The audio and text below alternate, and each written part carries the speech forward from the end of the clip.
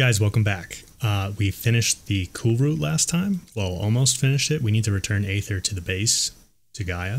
So we're going to head back over there and do that. And then I think I want to... Well, we'll pick up these quests while we're here, probably. And then I think I want to go back and I got confused between these two quests over here uh, a couple episodes ago. So I'm pretty sure this cave, there's a cave over here that I was looking for um, with Jax, the guy that was like bugging out and uh, not being where he was supposed to. So I think if we have time, we'll go do that. Maybe we'll be able to finish it this episode, but it might run into another one. Um, so, but let's go return Aether to the base. Aether to the base first. Are any of these challengers worthy of the, The title? final battle with Regalla is nigh. And let's talk to Dekka. Blood of the Ten, Aloy. Regalla denied. The truth of the visions revealed. I doubt you have enough skin to mark all your deeds. We'll just have to remember them then. Well, thanks to you, the chief still lives. And hope remains. But that's not why I wanted to speak with you. I need a favor. A personal one. My grandson, Kavvo. He was not counted among the dead, which means he must still be with Regalla's remaining forces. He was taken prisoner. No. He joined them willingly. Like many young soldiers who seek to mark their skin with distinguished deeds. I must search for him, convince him to come home. Chief Hekarro cannot spare any soldiers for this task, so my blade is alone in this. Unless you'd be willing to join me. I know it is much to ask after all you've done for us. But Kavvo is the last of my blood. What made Kavvo join Regalla's rebellion? For some, Regalla represents a chance of vengeance against the Carja. During the Red Raids, it wasn't easy to turn the clans back at Barren Light. Many wanted to pursue the Carja all the way to Meridian. So when Regalla attacked the embassy, they took it as a call to arms. Yes. But others, the young especially, care only about the glory they think they'll earn by hunting an age old enemy. As for Kavvo, it was probably a bit of both. And a youthful desire for a cause to get the blood burning. Nothing I said could stop him. You said Kavvo's your last living relative? Yes. Before Chief Hekarro, the clans warred constantly with each other. Every skirmish claimed another comrade. One by one, I buried my children. And then their children. I'm sorry. I tried to vent my grief on the battlefield, but I never found comfort there. Only in the wisdom of the visions. And even so, I still couldn't prevent Kavvo from following the trail of blood. If Kavvo joined Regalla's rebellion of his own accord, will Hekarro let him back into the tribe? The chief knows the value of mercy and the toll of unending bloodshed. It's the rest of the tribe I'm more concerned about. They won't quickly accept someone who betrayed them. Even with my support, it won't be easy. But you have to try. I'll help you find your grandson, if I can. Where do we start?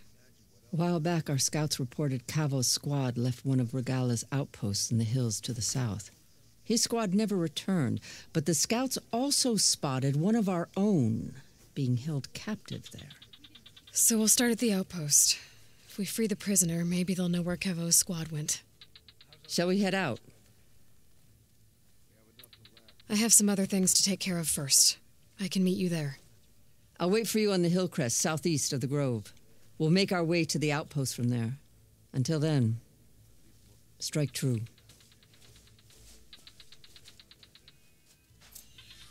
All right, Dekka, we'll help you out with that. Probably, maybe next episode.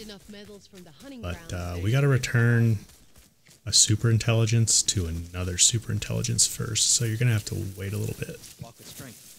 Walk with strength. Your grandson's gonna have to wait a little bit. The tribe is at. Champion, I fear we must lean on your strength and generosity again. Just tell it to her straight, Dekka. The tribe needs the arena. She's our only hope to getting it open again. You need the arena? But the Kulrut's over. That's true, but we also use the arena to boost the tribe's morale. We use it for training. Herd in machines so our soldiers can experience the glory of the kill in a controlled setting. Which, of course, boosts morale. But Chief Hekarro won't let us reopen the arena until the ballista protecting the field is repaired. We need it in case a machine runs amok, and it was damaged during the Kulrut. The parts we need aren't easy to find. I get it. You need me to hunt down some machines and grab the parts. We'd ask someone else, but every squad in the Grove is on alert. But the task is not without compensation, right, Kala? Of course. Once the arena is open again, I would be honored to invite you to compete. A wide variety of machines will be available. And I will award you prizes for victory, not just from the arena, but also for medals won at hunting grounds. You'll be able to trade them for some of the tribe's very best gear.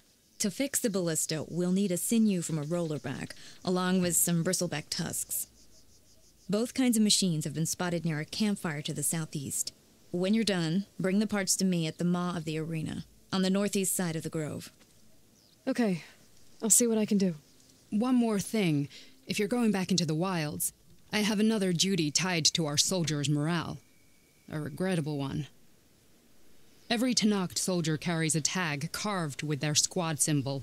Rebels have been hoarding the tags of the soldiers they kill. You might find such tags at any enemy outpost.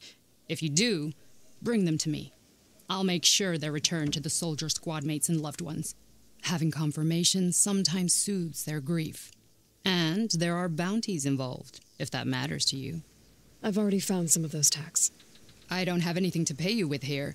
Bring them to me at the Maw of the Arena when you can. Thank you, champion. And please don't forget the parts for the ballista.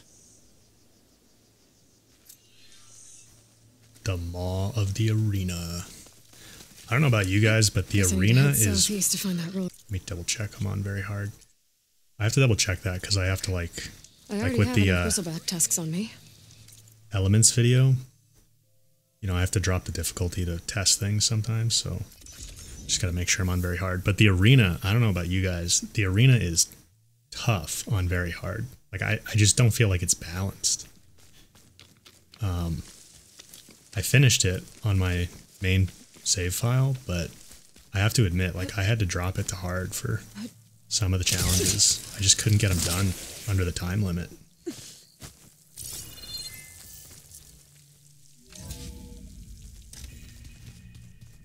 I'll definitely go back at some point and try and get on the leaderboards on very hard. Get a reasonable result, but they're just so tough. Yeah, like this? Oh, uh, you're not waving a hammer around, Erend. Try a gentler touch. And my big sausage fingers don't really do gentle, okay? Bring it back. Trace the line. To your right. Other right. I just saw it. It's the one Aloy found up north. Gotcha. They call it a, a concussion beat party or something. Yeah, now that's music. Aloy! Erend, you're all better. And you're here. Well, the world only goes on if you can do your thing. We learn fast enough, we help make that happen. You want all the backup you can get, right? We still have much training to do, of course. One does not become hunter in a day. Each seed grows at a pace of its own. Doesn't mean it won't bloom. You should know your Tenakth friend arrived. Kotallo, I heard their warriors drink people's blood. I want to sleep with one eye open. I think he's seen enough blood for a lifetime. I showed him to one of the rooms. He seems to appreciate the privacy. looks like you've got things under control. I should get this to Gaia. Right. We'll keep on training. Catch up as fast as we can. I'm seeing glyphs in my dreams already. Well, while you've been off gallivanting around, I've been working with Gaia to find out more about the land gods. So, from where I'm standing, you're in need of some training. Come along. Uh. Oh, uh. Okay.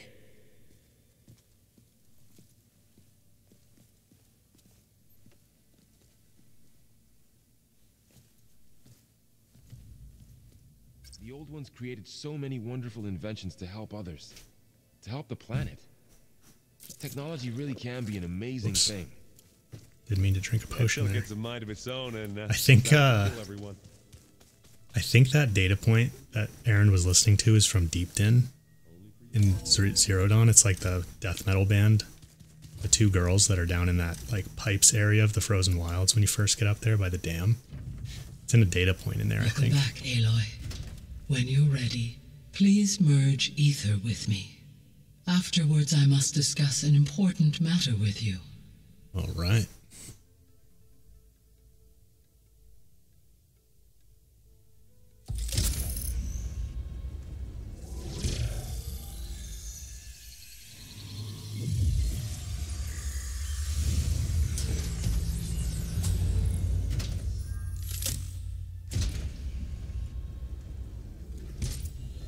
So, what did you want to discuss? While you were away, I received an unusual transmission on my dedicated Eleuthia frequency. Eleuthia. That's one of the subfunctions you couldn't detect before. Yes. The transmission occurred so slowly that at first it seemed like an accidental blip of data amongst background static. Once I noticed this irregularity, it took some time to collate the complete message.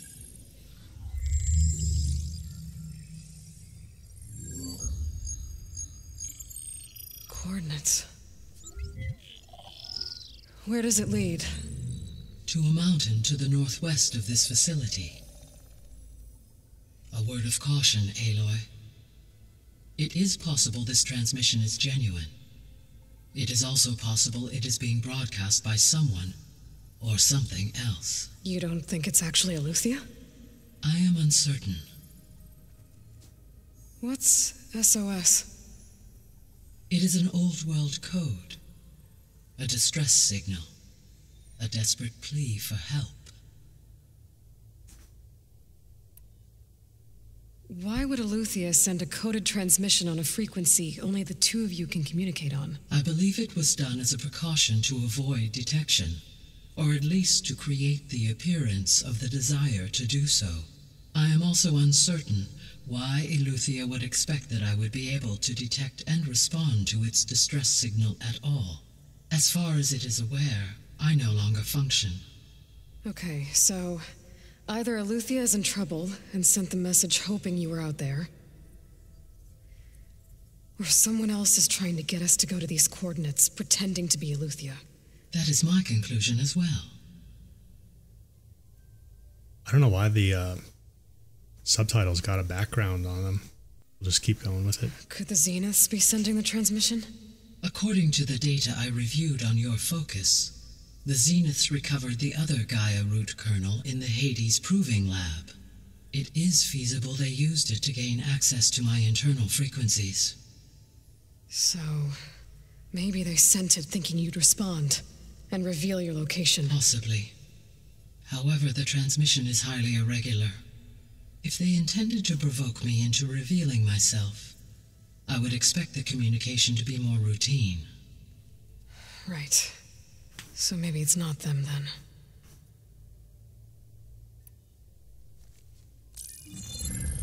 You said the coordinates lead to a mountain to the northwest. What's there? I have no record of anything of note in that vicinity. Okay, and what about the other number in the message? 237. Any idea what that means? I have queried my available databases, but it does not appear to have any significance. Perhaps its meaning can only be understood at the indicated coordinates. All right, I'll go to the coordinates and check out the source of the transmission. All by yourself? Ha! No way. I included Erend and Varl in this briefing via their focuses. I concur that you should not investigate this alone. What if it's a trap? Hmm? Of course, it could be a trap. But if it really is Eleuthia, then it's in trouble, and I need to bring it back. Don't worry. I'll be careful and. We're coming with you. Fine. Go grab your things. We'll wait for you at the west exit, in case you need to upgrade your gear. Oh, the background's gone. All right, Mom, fine. We'll take them with us. uh, yeah, I think we're done in here. Some you guys, Plusle was telling me you could just fall through the earth here, fall through the map. It's never happened to me. I'm curious if anybody else has had that happen.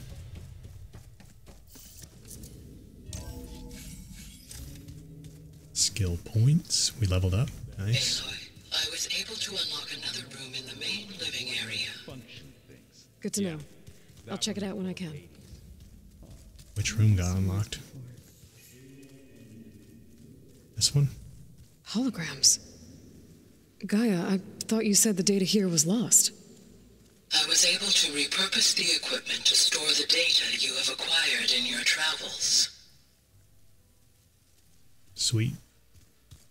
Aloy, Let's go talk to we've Tala. gathered some supplies in that chest. Looks like someone's made this Take space their own. I see you found Varl and Zo's room, Aloy. I believe they wanted private accommodations. I see. Ooh. I'm gonna get out of here before I get something. Ah. Looks like this room's changed. Aloy, It's good to see you. I'm guessing you've got a lot of questions. I've been told of our enemy and their intentions. Your friends showed me to the vision you keep in this place, Gaia, and gave me this focus. I don't pretend to fully understand everything, but all I really need to know is where to train and when to fight. Welcome to the team, then.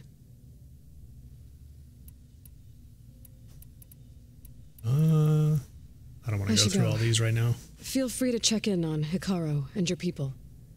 Door's always open here. I will. I overheard that Varl and Erend are to accompany you on a mission. Do you require my assistance?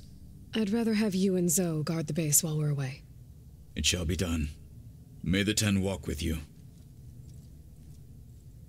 That, that was another one of those subordinate function things. Yeah, that one was called Hades. Okay, I don't want to do that quest right now. What is that one called? Cradle of Echoes, yeah. Let's see if Zo has anything to say here. Varl looks happy about his training partner. Learning is best done together.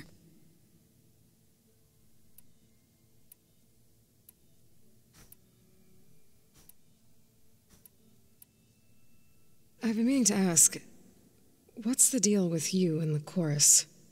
You didn't seem to be on the best of terms. That's what happens when you're the one Utaru who insists on publicly defying them. Twice.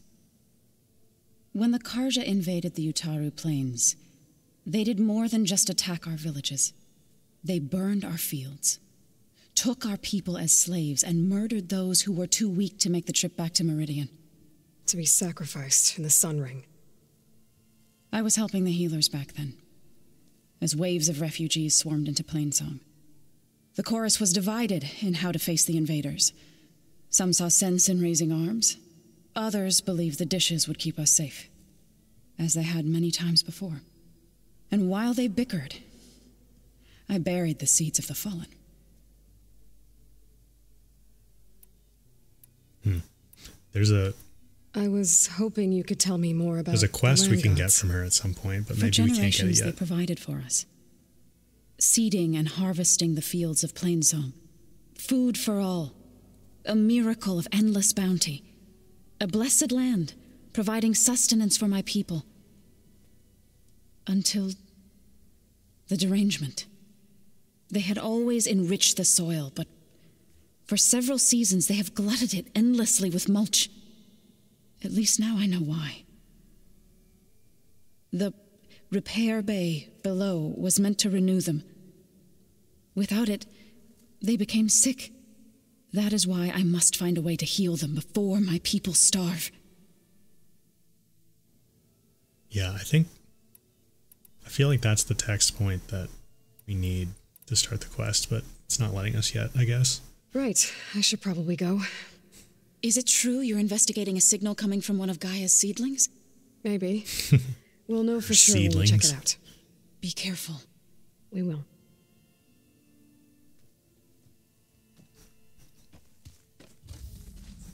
Okay. Let's go to Stone's Echo. Oh, they're not going to let me fast travel from in here. Oh, are they going to force us to do that quest right now? Hang on. Let's try to go outside. Gotta go after Eleuthia. Oh, Erend and Varl are waiting for me at the west exit. Yeah, it'll be nice to stretch okay. my legs. I guess we're doing this, guys. cooped up in- there she is. You ready to head out? I need a little more time. Okay. Let us know when you're ready. Well, let us leave now.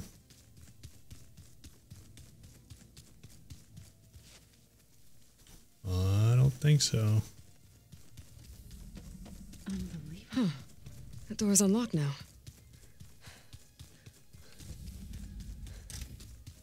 All right, so let me get this straight.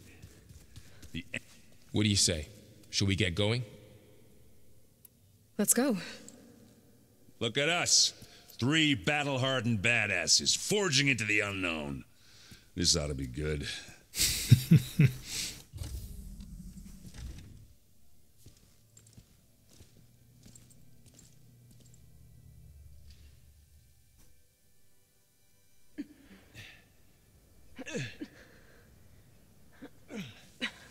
Uh, this distress call had to be up a really steep mountain, huh?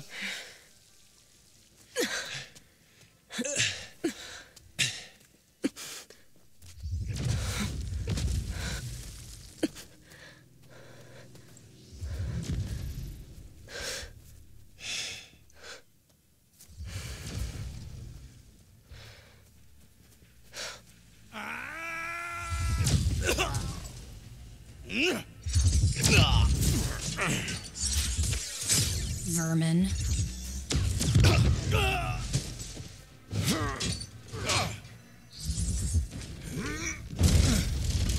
What is that?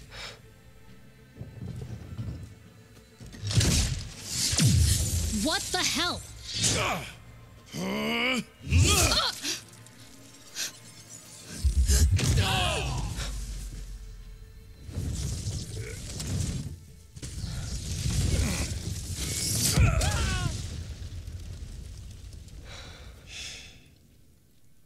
That takes the keg.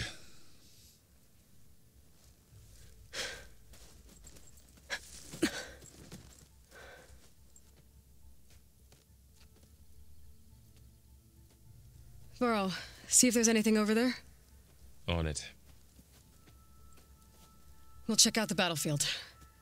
Let's start with that zenith.